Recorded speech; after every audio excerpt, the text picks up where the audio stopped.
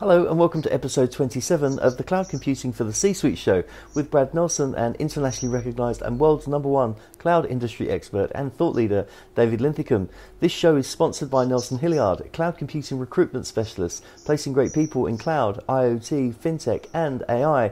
In this week's show, David and I will be talking about the cloud provides benefits to the Global 2000, and this technology will also help smaller competitors drive slow movers out of the business. And make sure you stay until the end of the show to get Dave's top three tips for organizations.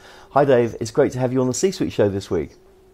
Yeah, it's great to be back on the show this week and looking forward to this topic. It's uh, something I've been talking about a lot lately.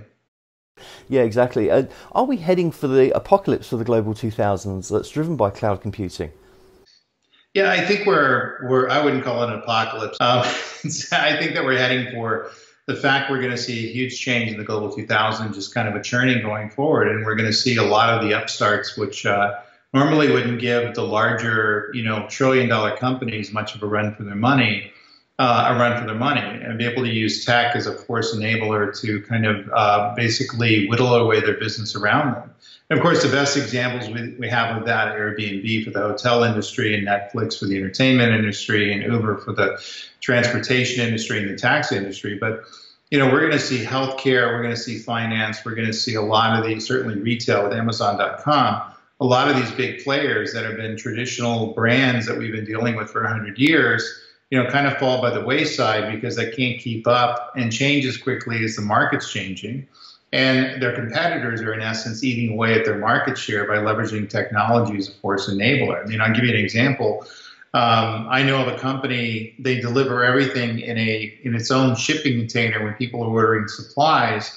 And that shipping container has a sensor in it, which will basically count every time something is taken out of the container for supplies that they need, say healthcare, other things. And then they automatically reorder with the customer's permission once they feel the container has, has been emptied or nearing empty. So in essence, they're running inventory for their clients, which typically have a 90 day um, reorder rate and typically run out of stuff and yell at, you know, yell at people internally before things get ordered. And that's an example of kind of automating uh, success, you know, into their processes. And I'm seeing hundreds of things like this, these great ideas where people are leveraging technology, in this case, RFID, Bluetooth, Wi-Fi technology, which is commoditized, uh, as a key enabler to provide them with a differentiator, and so they can charge more for their products and services and make more in the market. And I think that the larger companies right now just don't see the value of the technology that they should. They understand there's value there, and they are having projects that work on it. But with very few exceptions, I think they're whistling past the graveyard, and they're going to be in trouble in five years. Yeah, I really do agree with you that there's not enough quick adopters out there. I mean, to throw it back at you, giving giving this a timeline for the global 2000s that aren't, or you know, the uh, specific um, industry ex or leaders in the global 2000s where their markets are being heavily disrupted. What's what's the timeline look for them if they, if they don't get on board soon and, and get things moving? How how quickly do you think that their businesses will almost be completely disrupted and, and no marketplace at all? Yeah, it depends on the industry, of course, but I think five to ten years is really kind of the uh, uh, is where it is right now. That means they have to start now. They can't turn on a dime to get anything going in the global 2000. It's going to take a year for them to think about it. You know, three years to implement, and then uh, one year to deploy it. And do so, it's going to take a tremendous amount of money. They're going to need some outside assistance. They're going to need some talent in the company to kind of change things around. But more importantly, they're going to need to change their culture. I think the limitations of the cultures are really what's holding them back more so than their technology enablement and their ability to kind of move in different directions. So they have to understand it's about taking risks, it's about questioning, it's about uh, the art of the possible, um, the ability to kind of uh, figure out what's possible in their market and what they can do with enabling technology.